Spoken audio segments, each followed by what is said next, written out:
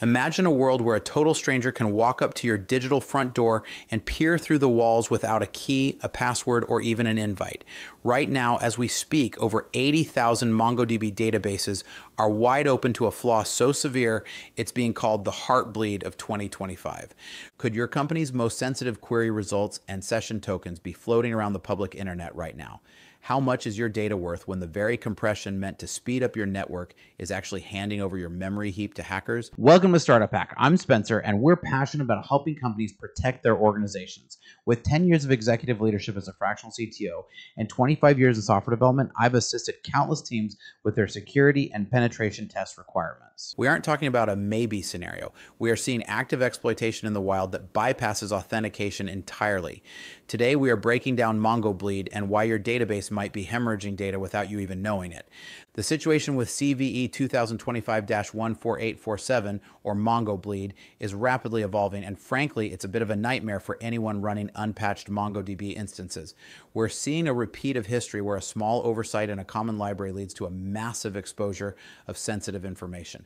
I've spent 25 years watching these patterns and this is one you cannot afford to ignore. Before we dive into the technical details, I want to hear from you.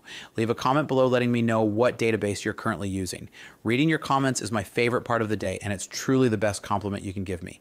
This vulnerability targets how MongoDB manages compressed network messages, specifically using the zlib library. The server mistakenly uses the allocated buffer size instead of the actual data size when sending responses back to a client.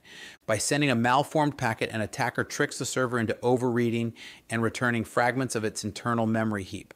The scariest part is that this happens at the network transport level, meaning the attacker doesn't need a username or password to trigger the leak. Leaked data often includes previous query results, internal server pointers, and even session tokens from other active users. Security researchers have already released public exploit tools, making it easy for even low-level attackers to scan for victims.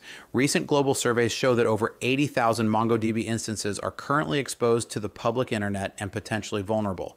The flaw affects a massive range of versions, stretching from the newest 8.2 releases all the way back to legacy end of life versions like 3.6.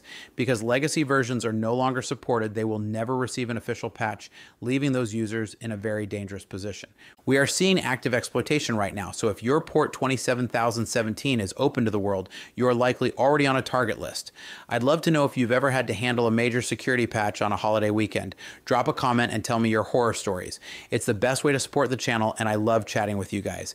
The absolute first step is to upgrade your server to the fixed versions, such as 8.2.3 or 8.0.17 immediately. If you can't patch today, you should disable zlib compression and switch to safer alternatives like Snappy or ZSTD. You must ensure your database isn't reachable from the public internet by using strict whitelisting and robust firewall rules.